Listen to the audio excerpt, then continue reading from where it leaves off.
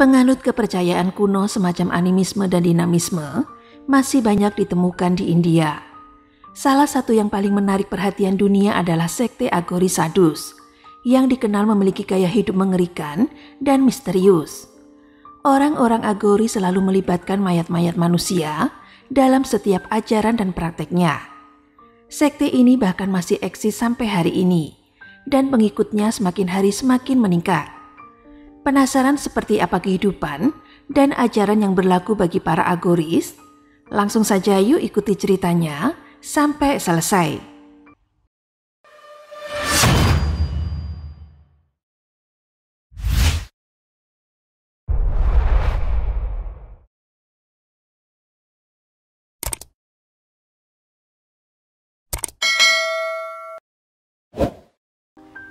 Sekte Agori merupakan sekumpulan orang yang tinggal di kota Varanasi, India, yang terletak di sebelah utara dan di sepanjang tepi sungai Gangga. Sekte itu memilih kota Varanasi sebagai tempat tinggal mereka karena umat Hindu percaya bahwa itu adalah kota favorit Dewa Siwa. Selain itu mereka juga berpikir bahwa tinggal di Varanasi akan membawa keselamatan di akhirat. Tidak hanya Agori yang mencintai kota Varanasi, tetapi beberapa umat Hindu yang sakit parah pergi ke tempat itu setiap tahun untuk meninggal dan dikremasi di sana. Tempat tinggal utama sekte Agori adalah kuburan tua atau di tepi sungai Gangga. Mereka akan tinggal sedekat mungkin dengan sumber daya dan mayat sebisa mungkin. Sebenarnya siapa itu sekte Agori? Sekte Agori adalah sekte agama Hindu yang ada di India, tetapi memiliki perbedaan. Karena sekte Agori tidak percaya tentang kepercayaan agama tradisional, sehingga mencari kemurnian dalam segala hal. Sekte Agori memegang kepercayaan bahwa ritual yang mereka biasa lakukan bisa membuat mereka mencapai pencerahan spiritual dan manunggal. Atau bahasa sederhananya, melakukan penyatuan agar lebih dekat dengan para dewa. Asal-usul sekte Agori masih diselimuti misteri.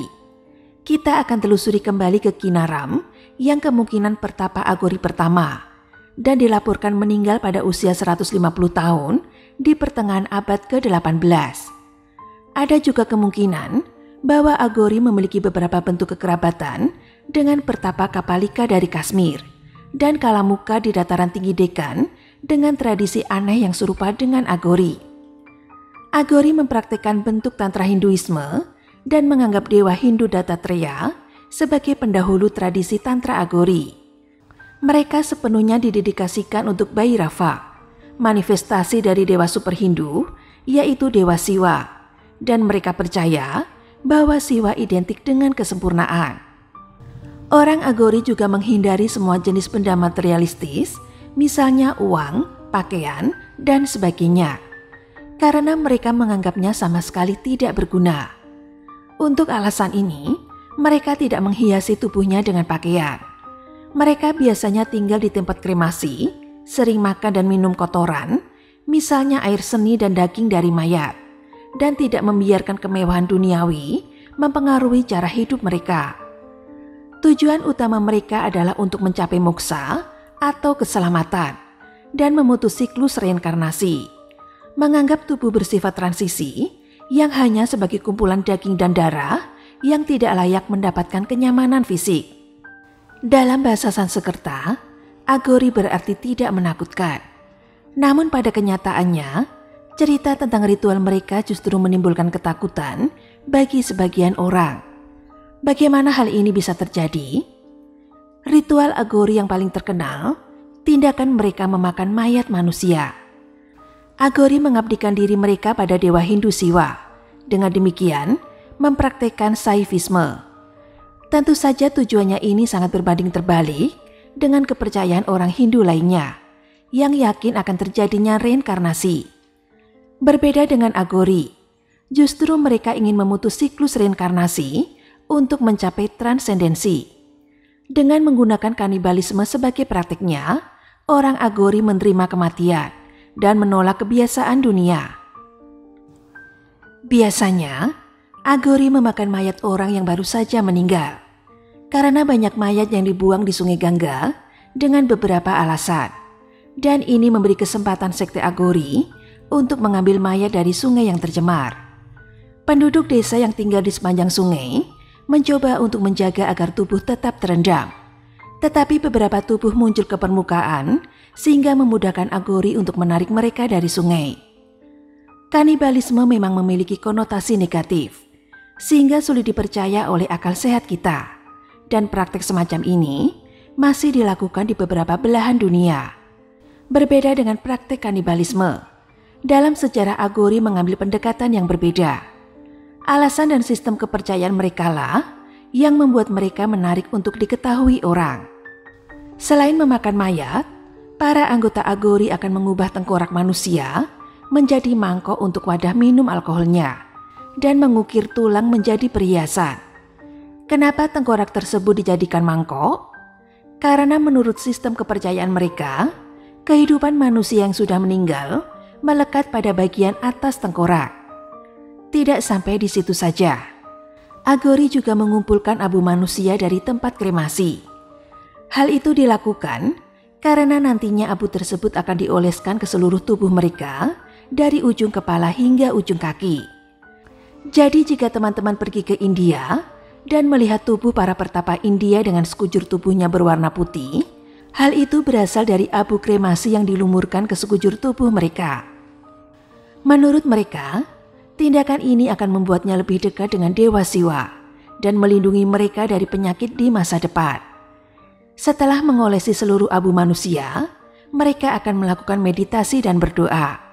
Karena menurut Agori, hal itu berguna untuk mencari pencerahan hidup tertinggi.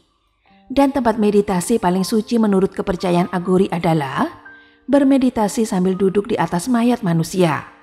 Karena itu sama saja seperti mereka melakukan latihan untuk melepaskan rasa takut yang tersisa di dalam dirinya, serta untuk menghadapi stigma akan kematian untuk menakulkannya. Setiap orang melakukan meditasi dengan cara yang berbeda-beda. Demikian pula dengan sekte Agori. Dalam bermeditasi, sekte Agori mengkonsumsi obat-obatan yang bisa mempengaruhi pikiran untuk menyelam ke dalam keadaan meditasi.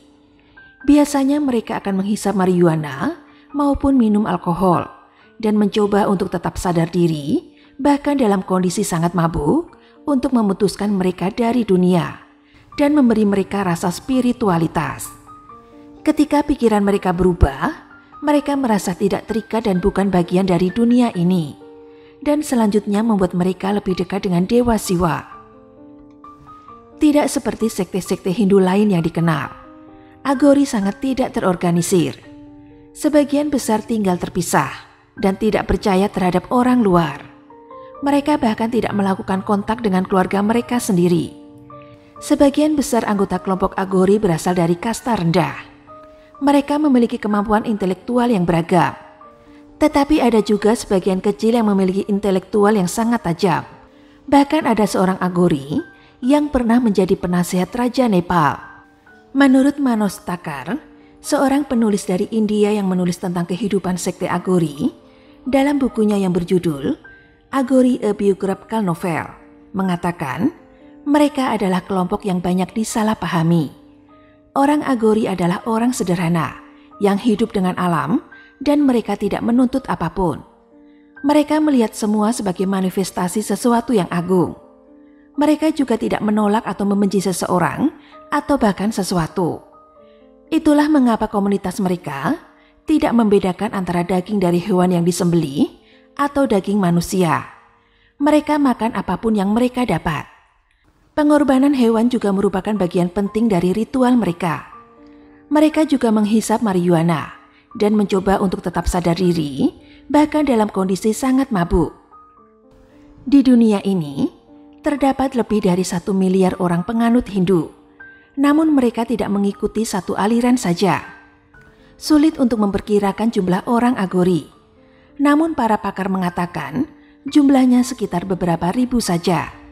Bahkan bagi sebagian besar orang India yang biasa melihat para pertapa, bertemu dengan pertapa Agori dapat menjadi sesuatu yang menakutkan dan menjijikkan. Sebagian Agori mengaku bahwa mereka melakukan hubungan seks dengan mayat.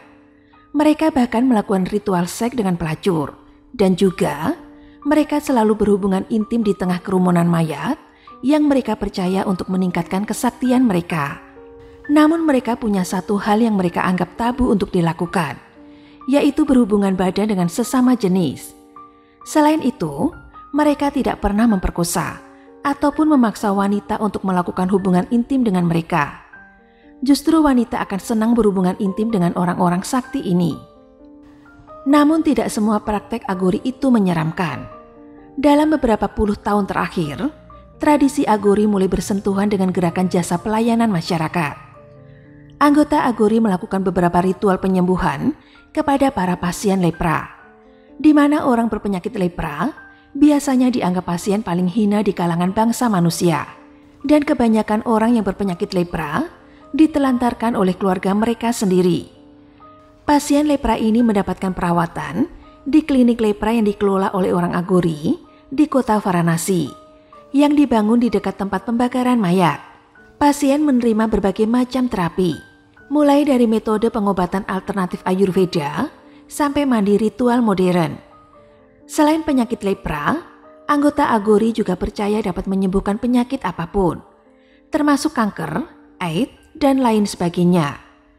Agori mengklaim dapat menghilangkan penderitaan dari si penderita secara permanen. Anggota Agori adalah pemuja Dewa Siwa, dewa perusak dalam keyakinan Hindu, serta pasangan Dewa Siwa, yaitu Dewi Sakti atau Dewi Kali, yang merupakan Dewi kematian. Agori terlihat seperti perwujudan hidup Dewa Siwa, tampak seperti mimpi buruk. Mereka memiliki rambut panjang yang tidak dipotong sepanjang hidup mereka. Oleh karena itu, Agori dibenci dan sekaligus dihormati oleh masyarakat karena cara hidup mereka yang misterius, gelap, dan unik. Orang Agori tidak pernah menjadi bagian dari masyarakat arus utama dan selalu menjalani kehidupan terpencil sendiri. Meskipun praktek mereka merupakan sumber kengerian bagi banyak orang, namun hal yang lebih menarik adalah fakta bahwa orang Agori mempunyai keyakinan. Walaupun mereka menjalankan praktek radikal, misalnya kanibalisme, hubungan seks bebas, menghisap marijuana, dan menggunakan sihir, tetapi mereka tidak pernah membunuh orang untuk melakukan kanibalisme. Mereka justru mengesampingkan kejahatan demi mencapai ilahi. Agori sejatinya tidak memiliki kebencian dalam diri mereka dan percaya bahwa orang yang membenci tidak dapat bermeditasi. Terlebih mereka juga berkeyakinan untuk berbagi makanan dengan para hewan dalam satu mangkok untuk menghilangkan kebencian mereka pada makhluk lain. Terlepas dari hal itu, menurut kepercayaan mereka, tujuan menghilangkan kebencian itu untuk menjadi lebih tinggi dan menjadi satu dengan Dewa Siwa, dewa yang mereka puja. Mereka juga tidak pernah memaksa siapa pun untuk menerima cara hidup mereka. Hal inilah yang memungkinkan masyarakat dapat menoleransi gaya hidup mereka selama bertahun-tahun. Diyakini orang-orang Agori memiliki kekuatan sihir hitam yang mereka peroleh dengan cara ekstrim seperti memakan mayat dan bermeditasi di tempat kremasi. Beberapa bagian dari populasi Hindu di India, terutama yang mendiami daerah pedesaan, juga memakai jasa sekte Agori Sadus yang mereka percaya mempunyai kekuatan gaib dan mistis. Dan dengan demikian, para penduduk desa ini akan mencari bantuan mistis kepada mereka dalam hal-hal yang berhubungan dengan kekuatan mistis yang mengganggu mereka. Di India Utara, hanya pria yang boleh masuk sekte Agori. Namun di Bengali, ada perempuan pemuka Agori yang tinggal di dekat tempat pembakaran jenazah. Namun berbeda dengan kaum lelakinya yang tidak mengenakan baju dan hanya mengenakan selembar kain seadanya untuk menutupi auratnya, tetapi kaum perempuan Agori memakai baju lengkap. Sebagian orang Agori juga sudah menggunakan telepon seluler dan transportasi umum dan juga semakin banyak yang sudah mengenakan baju saat datang ke tempat umum. Dan pada saat anggota Agori meninggal, jasad mereka tidak akan disantap oleh orang Agori lain.